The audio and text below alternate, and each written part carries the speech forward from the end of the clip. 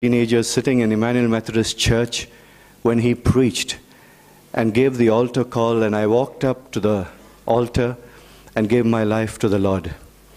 I was 15 when he baptized and confirmed me.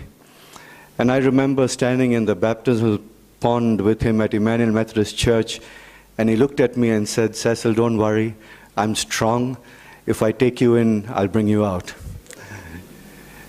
And over the years, I have just followed him, uh, just loved to see the way in which he has poured himself out for the Lord's work faithfully, with great integrity. For 22 odd years, he was vice president at World Vision with the mandate to just go and preach the gospel to the uttermost parts of the earth, to look after pastors and prepare them and teach and equip them. And how well he did that, going to places that not many people would go to. I remember eh, when I was in seminary meeting a couple of students from Romania, and they spoke in awe of him because they said that he would come to Romania when it was even dangerous to his life to do so. But he kept going there, preparing the pastors for a time when the Iron Curtain would come down. Post then, he has done phenomenal work traveling across the world. He's the president and founder of Friends Missionary Prayer Band, an indigenous missions movement that has just done wonderful, wonderful work in India. But you know, if Paul, uh, if uh, the writer of Hebrews had his Hall of Fame, in my Hall of Fame, Reverend Kamaleson is one. And it's such a joy this morning to welcome you, Pastor, to our midst. It's a delight to have you here, and our hearts are filled to just uh, look forward with anticipation to what God has in store for us through you. I asked him whether he would sing, and he graciously agreed. And so I know we're in for a treat this morning. Would you welcome Dr. Sam Kamaleson?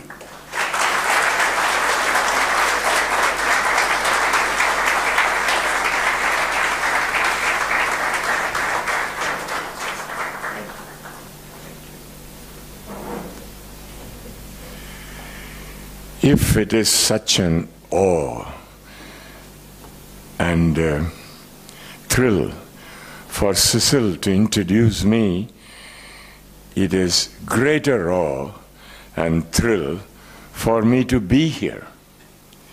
I had wanted to be here because I had heard about you due to your connection with Cecil. And um, for years, Bombay seemed to be out of my way. I came to India often, but I went out of India another way than Bombay. But this time, by the will of God, I am here. So I'm thrilled to be where Cecil is, and hence where you are. Is that all right with you? Well, good. Cecil said I should sing. And uh, I consented because we were just traveling in the car and I had been with him for just a few minutes and I couldn't say no to him. And then I found that I will be singing a cappella. And um, if I slip out a key, you would blame it on your pastor, would you? No one, absolutely no one, ever cared for me like Jesus. No one can. Because no one knows me as he does and no one loves me as he does.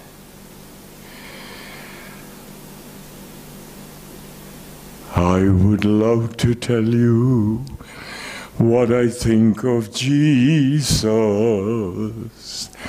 since I found in him a friend so strong and true. I would tell you how he changed my life completely. He did something that no other friend could do. No one ever cared for me like Jesus. There's no other friend so kind as he. No one else could take my sin and darkness from me. Oh, how much he cares for me. All my life was full of sin when Jesus found me. All my heart was full of misery and oh, Jesus placed his kind and loving arms around me and he led me in the way I ought to go. Every day he comes to me with new assurance. More and more I understand his words of love, but I'll never know just why he came to save me till someday I see his blessed face above. No one ever cared for me like Jesus. There's no other friend so kind as he. No one else could take my sin and darkness from me. Oh, how much he cares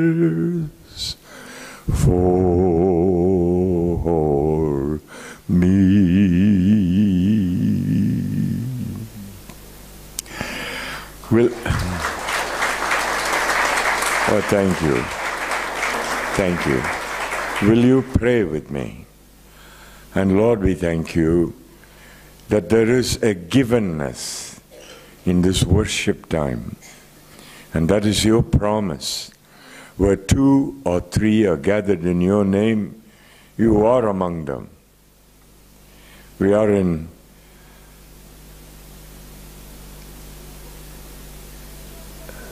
a building in this big city called Mumbai. We could be easily ignored.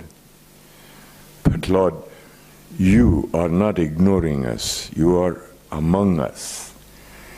We pray that the blessed Holy Spirit will open the eyes of our hearts to see you, that He will open our ears that we may hear you. And then, Lord, He will help our will to yield to you, that what we see and what we hear will become permanently part of us. Lord Jesus, we love you. We thank you. And we pray this prayer in your name for your own sake, Lord Jesus. Amen. The city where I was a pastor and your pastor was among those who worshipped there. That city has a rather beautiful beach. It used to be prettier, but it's being more populated now. We call it the marina, and uh, when you come to Chennai, you must see the marina. In the evenings, people go out in large numbers to get a whiff of the fresh, quote unquote, sea breeze. And then the peanut vendors come with uh, burlap sacks. They have varieties of peanuts the hot ones, the sweet ones, the sugar coated ones. They just endless variety. And they will sell it to you. Our man was a peanut vendor the beach in Chennai. He had been selling peanuts for many years. To his satisfaction, he was the president, the vice president, the secretary, and the treasurer of his peanut selling concern. But to be honest, he had to own that this peanut selling concern, of which he was the president, the vice president, the secretary, and the treasurer, was a bankrupt peanut selling concern. Disturbed him. And he didn't know how to redeem himself from this. So finally, he decided that the offending part of the whole transaction was the wheelbarrow with the peanuts in it. So he pushed it behind a bunch of canna along the beach. We do have, just for uh, um, beauty, canna of various colors. And he pushed it behind that, dusted his hands, and decided he had a new self image. He went to a sidewalk cafe, sat at the table, ordered the most expensive fare. The waiter knew our um, peanut vendor's antecedents, but he decided it's a free country. If he wants to eat himself to deeper bankruptcy, that's his business. When he went in to prepare fare, a new arrival came dressed in immaculate steel gray business suit, a white shirt, a lovely businessman's tie. This guy looked as if he could sell the Taj Mahal. He came and asked our peanut vendor, Can I share your table? My, the peanut vendor thought my new self image is working. They are asking me permission. Loftily, he said, Help yourself. The man sat down. He was in a talkative mood. So he said, Sir, what do you do for a living? Our peanut vendor said, I'll have you know I am a businessman and I'm the president, vice president, secretary, and treasurer, the sole owner of my business. The new arrival appeared terribly impressed. He said, Providence made me meet you. Look at all your experience president, vice president, secretary, treasurer. I have capital that I want to invest in this city. With your experience, if you and I become partners, we can take the city. The peanut vendor thought, man, this guy is something else. But he didn't want to give himself cheaply. After all, you are a president, vice president, secretary, and treasurer. Who cares if it is bankrupt? Are you listening? Who cares? After all, every guy is bankrupt.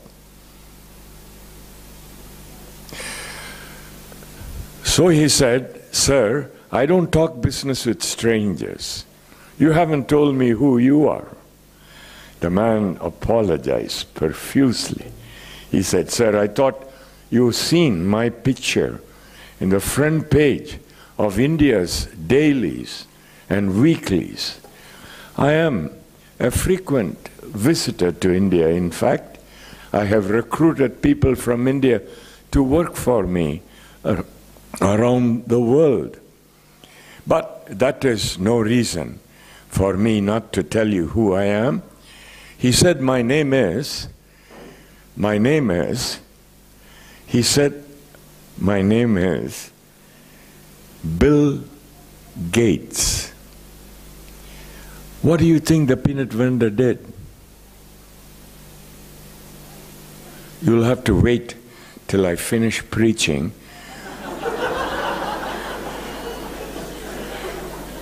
Honestly, I intended to do that. You'll have to wait till I finish preaching, and then I will tell you the rest of the story. In Mark chapter 1, beginning with verse 14 on to verse 20, there is a passage that deals with the calling of God. This is where the first call for the first four disciples takes place. People who have assessed the four Gospels tell us that Mark qualifies to be a modern day journalist. Terms like straight away, immediately, or Markan terms, and they would fit in with what this morning's newspaper will say. He, Paul Mark knows how to captivate our attention and keep it there. In the 14th verse, Mark says, Now after John was put in prison, Jesus came to Galilee. Mark would like to set the stage. A ministry of the forerunner was over. Now it is time for the Messiah to come in. And Jesus enters. Jesus enters Galilee of the Gentiles. God is not looking for the purity as conceived by human beings, He is looking for human beings as seen by God. Mumbai is a classic example of what God will consider a worthwhile place to invest Himself in. I am very impressed with the big city.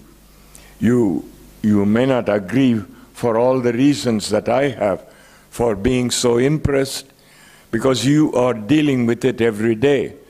But it is a wonderful city, powerful city. It's also difficult to breathe. But that's all right. Some things have to go with the good things. Jesus came.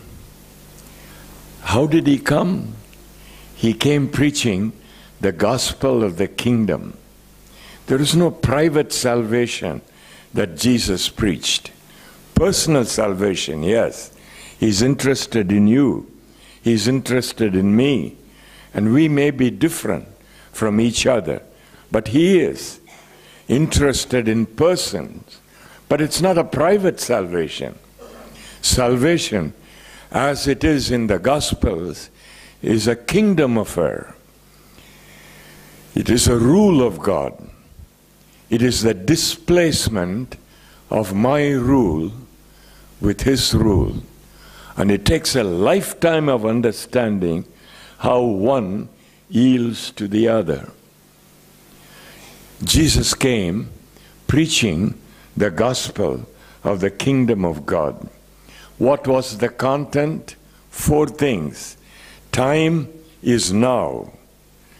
You can't postpone it to tomorrow. You cannot.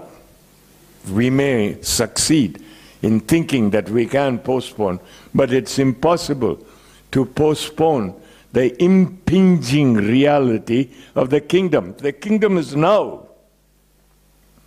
It's upon you now. Don't think that it is me who is acting urgently. The kingdom is demanding that urgency. You can't postpone. If you're postponing, you haven't heard the kingdom yet. Time is now.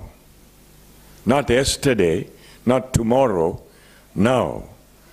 The second thing that Jesus preached was the kingdom of God is pressing in on you.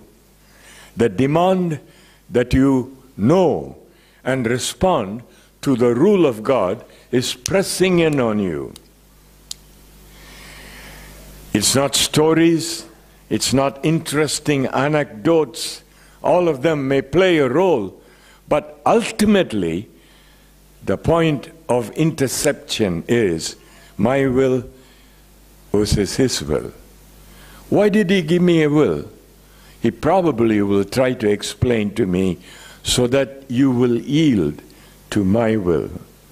The choice will be I now will your will. Help me. The kingdom of God is at hand. What should I do? What is the action? Repent, turn around, because the direction you're going is totally the opposite one. The desires you have are totally in disagreement, not just disagreement, they are set against the tendencies of the kingdom of God. Prestige is a non issue in the kingdom. And yet, prestige is the one issue for which most of our society lives. The consciousness of prestige in our Indian society is at a very high level. Servanthood is the quality of the kingdom of God. We don't know how to build others, enable others to become what they want to become. And yet, kingdom people do that to one another. That's just a little taste. Why I should repent. Turn around, you're going in the wrong direction. Then believe. For what you don't see, trust. It'll happen. Keep moving. It will happen. Four things it is now. There's a kingdom, there's a rule. Turn around. You need to. Nobody else can do this for you. It's a 180 degree reversal. And then, for what is ahead, believe, move, trust, and it'll happen. But he didn't leave it like that. Take it or leave it proposition he called people into this.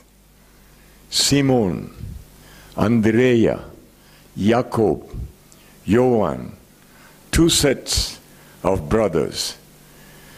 And they responded. They, true to what has been called for, left what they had and began to follow him.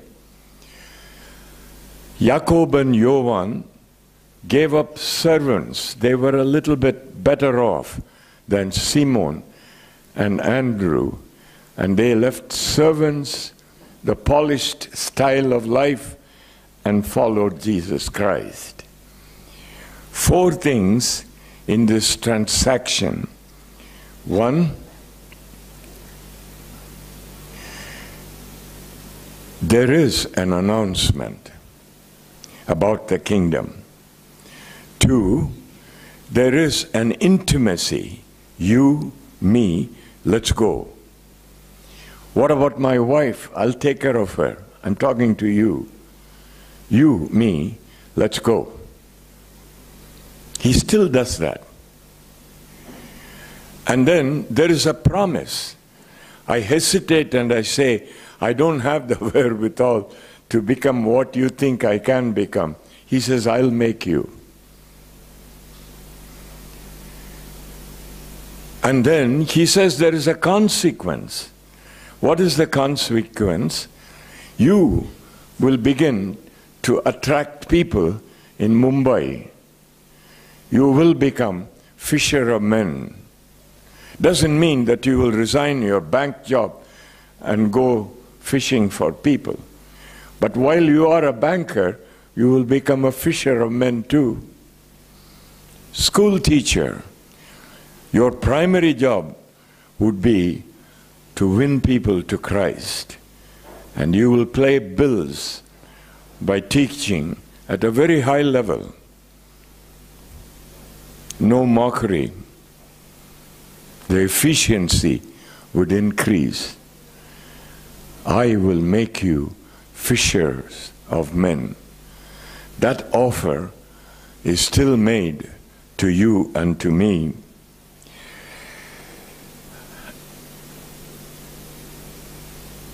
They paid a price. We pay a price too. I didn't realize when I first came face to face with Jesus Christ what was in store down the road for me. A classmate of mine led me to Christ. He was a Hindu. His name was Shankar Narayan. Shankar, when he found the Lord, was a radiant person. To him, Jesus was a risen, immediate reality whose influence he felt in his life. And some of the other students, other than the non Christians, the guys who were members of congregations in that part of the world, thought it rather funny that Shankar would be so obviously celebrating the presence of Christ. Now, on reflection, I think that they were put under conviction. If one can know this Christ so intimately, what are they doing? Generations they had been members of the church, but everything had gone dull. No reality. Church attendance was part of the mundaneness of the total life. I was also among them, but I enjoyed Shankar, and so I defended him. I took these guys.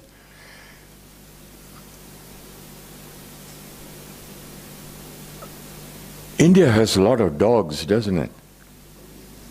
No? Nobody owns these dogs, but they thrive, don't they? Not in Mumbai. You don't talk on Sunday morning, do you? don't they thrive? They're, and if a stray new dog comes into that neighborhood, all of them will get together and go after this new one. I don't know how they incorporate him finally into their gang, but there's a lot of barking and noise making, and you can't sleep. These guys were something like that. They were disturbed by the reality in the light of life of Shankar. And they made a lot of noise. Noise that was not relevant to the Jesus that Shankar was talking about. We were in a government farm during summer undergoing personal training. My first training was in veterinary medicine. I don't know if you knew that. That means if any one of you has a headache, there you go. I thought I lost you. That's good. I am a veterinarian. Shankar radiated the love of Jesus. And I pulled these guys one by one and I told them, next time I catch you, my fist. That's what I could do. I didn't know the Jesus Shankar knew. In a government farm. After we finished the day's work, we were both walking together. I wanted Shankar to pray for me because I thought God will answer if he would recommend me. In India, everything is recommendation. Why not get a guy to recommend you to God? Nothing better than that. Shankar readily agreed because he had been praying for me. And he said, I'll be glad to pray for you. But he said, Sam, are you a Christian? It kind of shook me up. You see, I'd been defending this guy, feeling good about it. He had been a Christian only a few months. He's trying to challenge me, who had a genealogy of at least five generations of Christians. I told him all of that and topped it off by saying, My name is Samuel, and it comes from the Bible. He said, All of them were good, but not any one of them made me a Christian. I said, What would? He said, Sam, you need to be born again. You need to be born into a value system that's totally different. You need to be born of the Spirit. God Himself will indwell you. I thought it was very logical. I asked him for scripture. He took me through the third chapter of John's Gospel. A man, Nicodemus, a ruler of the Jews, was being told by Jesus you must be born again. The rationale was if it was true for Nicodemus, it certainly is true for me. We knelt underneath a tree and we began to pray. When I got up on my, off my knees, I had invited Christ into my heart. And a walk began that day that has not ended yet changed me. My ambitions and desires were changed. Walking down the crowded path of um, now that, that, that, that's probably a tongue twister, but it's a part of Chennai, rather crowded part of Chennai. Walking down the streets of Purasavakkam, Jesus talked to me and said, Hey, don't you think these people around you need to know me?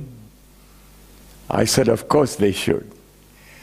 Then he said, You tell them. Somebody has to tell them. You tell them. I said, I can't do that. They are going in 20 different directions.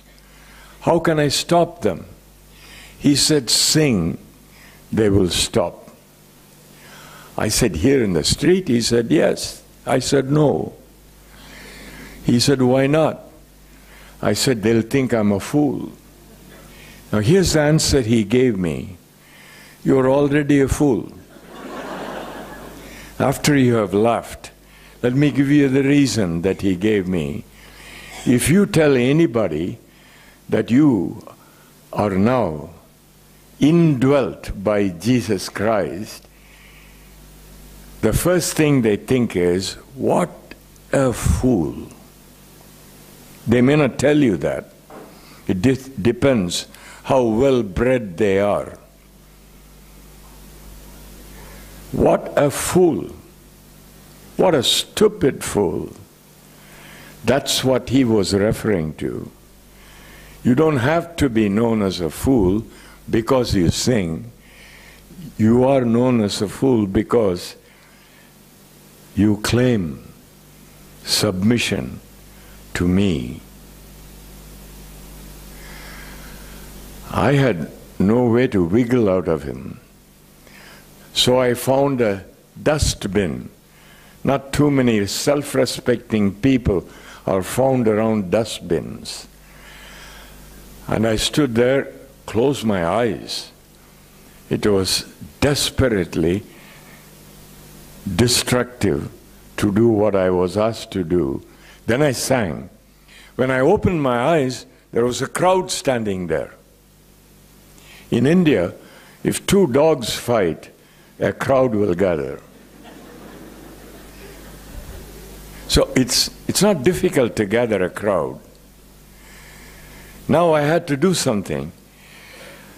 I said three things. I said, He, Yesu, is alive. Two, I have found that He is alive. Three, you also can find that He is alive. Everything inside of me dried up. I had said what I needed to say.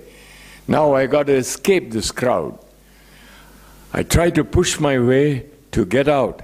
A man caught a hold of my hand and he said, I want to know. Tell me. I was totally surprised. You will be too. Try some way to throw a, a line into the crowd in Mumbai. You will be surprised there are people anxiously waiting to discover whether Christ is alive or not, whether He can do anything to them personally or not. We haven't tried. Most of us are used to expressing our faith, our testimony within protected environment. Am I right or wrong? Then why don't you talk to me? Because I didn't ask you to talk, isn't it? Are you there? Are you listening? Yes. We don't. We don't like the discomfort of being exposed. It's raw. It could get nasty. Why invite trouble like that? This fellow held on to my hand and said, Tell me. So I sat at the edge of the sidewalk and had a hip pocket New Testament. I pulled it out and showed him verse after verse. The guy ate it up. I couldn't feed him enough. I took his address, ran back to the guys I had led to the Lord, living with me in the college, and I gathered them and I said, There's plenty of fish outside. Let's go fishing. Three and a half years after that, we went regularly into the streets, sometimes three times a week. It was there that he tapped me on my shoulder and said, I want you. Come, follow me. Oh, they told me if you come to this part again, we'll break every bone in your body. I, I did go. Not any bone is broken yet, unless you break some. In Mumbai, God is with you when you obey Him. Something changes in you so radically that only obedience can lead you into that. Fascinating, wondering, and uh, imagination running wild all of that are great. But obedience, one step of obedience, will lead you into an enormous, unending pathway of change, transformation in your life.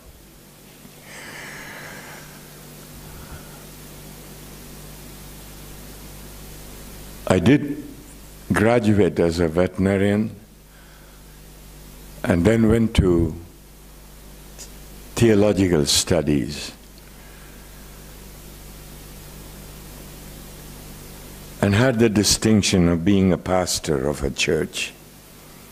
But all of that simply to say, He, when He says He will make you, He is faithful and true in transforming you. And the result is you too become a fisher of men. In this um, passage in Mark, Come after me, and I will make you become fishers of men, is the direct invitation to you and to me. You don't have to become a pastor, but you will become a fisher of men. As a doctor, lawyer, banker, teacher, student, whatever you are, God will use you to bring people to a personal knowledge of Himself. And His invitation this morning is for that kind of an engagement. I left Bill Gates, didn't I? You forgot Bill Gates? I don't, I don't have to tell the story again, do I? No. He said, Who are you?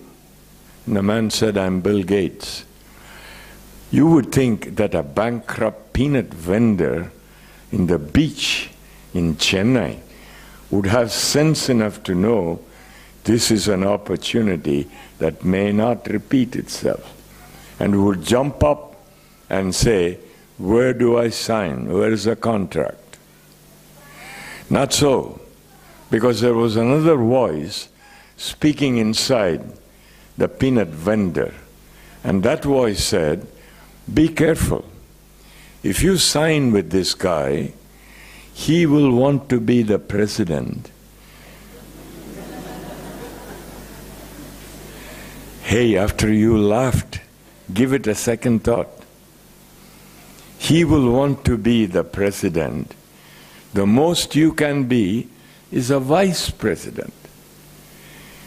Whereas with your wheelbarrow, man, you are the president, vice president, secretary, treasurer, no challenge.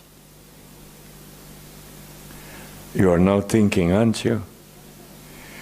What is it that God is asking of you and me when He says, Follow me, and I will make you?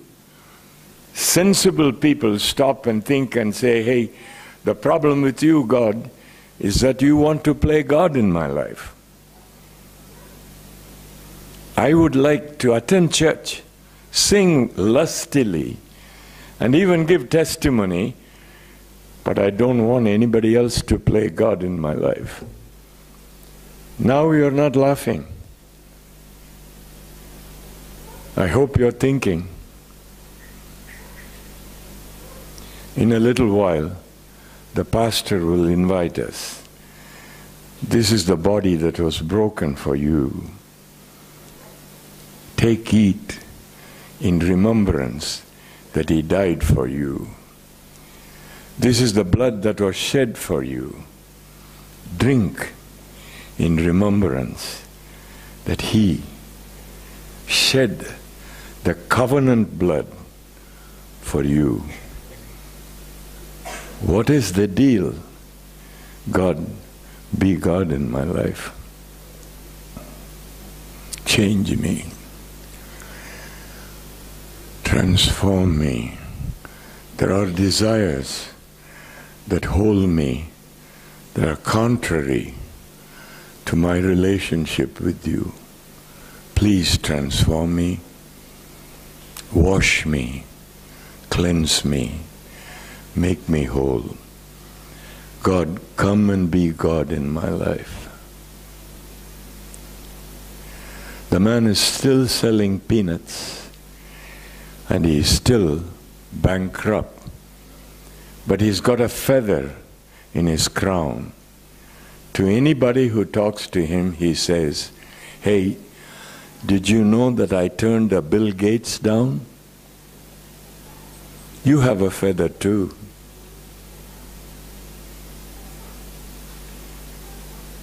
I turned the Son of God down.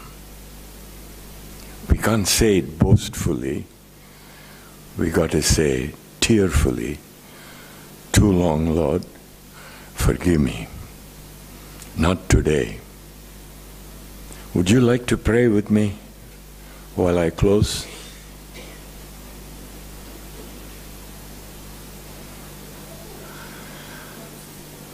In some measure, blessed Savior, I've been paying, playing the fool. You have come near to me so often. I knew that. I knew that it was you. I even felt the brush of the hem of your garment against my face. I knew it was you. But, Savior, it's difficult for me. I want to play God in my life. This morning, I know the deal does not include that clause. There's only one God. There's only one who is the Son of God. Only one Redeemer. Only one Savior.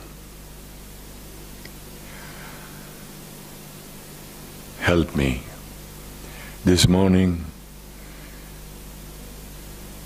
Help me when I come to celebrate that you gave yourself for me.